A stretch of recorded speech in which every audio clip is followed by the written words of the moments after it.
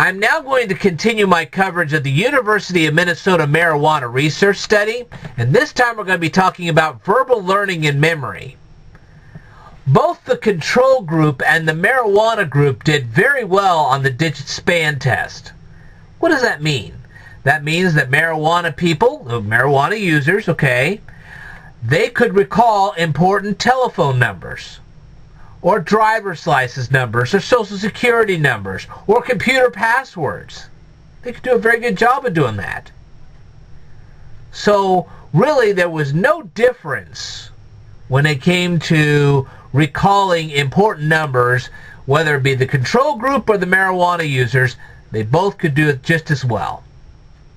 So that's still not the problem. So what's the problem? Well, do you remember a test entitled, hang on, let me bring it up here. And the test is called the Rey Auditory Verbal Learning Test. Do you remember that one?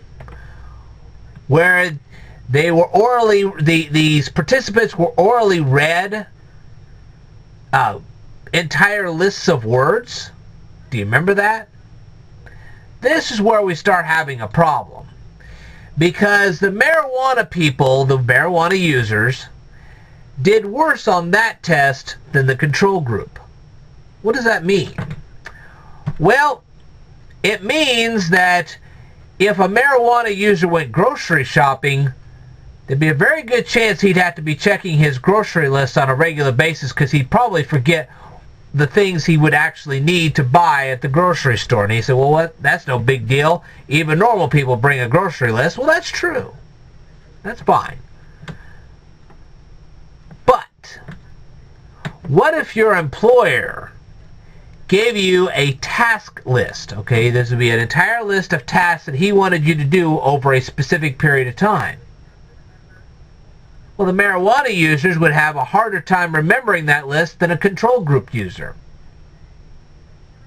Now that becomes a problem. See what I mean? Now what if you're a delivery driver? I don't care if you're delivering flowers or packages or whatnot. And you were given a list of places you needed to drop things off at. Well, the marijuana users would have to constantly refer to the list because they wouldn't be able to retain it for lengthy periods of time.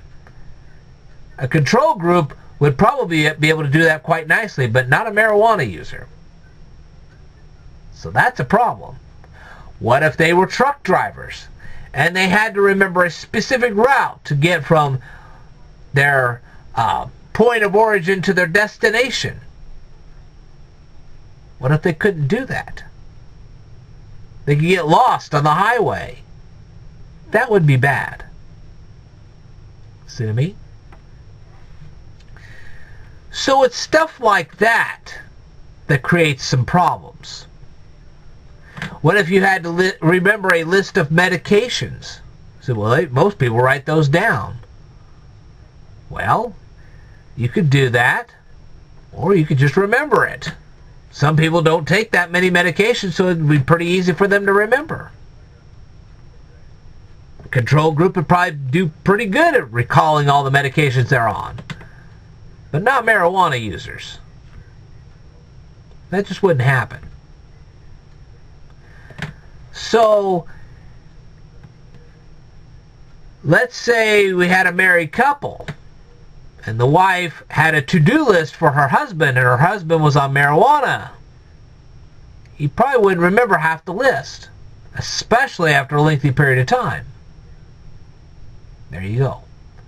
You say, well, what? When does it really become important? Well, it becomes important to say a crime scene. Let's say they're an eyewitness to a crime. Now they have to remember the sequence of events that happened at that crime to give investigators all the information they need. Marijuana users are not going to be capable of doing that. You see what I mean? That's where you start having a problem. They say, well, people in, in a control group probably would have some of those same problems too, but not nearly as often as a marijuana user. And this test proves it. So, so you see, you see how problems can arise right off the bat. Anyway, if you want a more detailed explanation of all this, it's in the research paper. You can read it for yourself.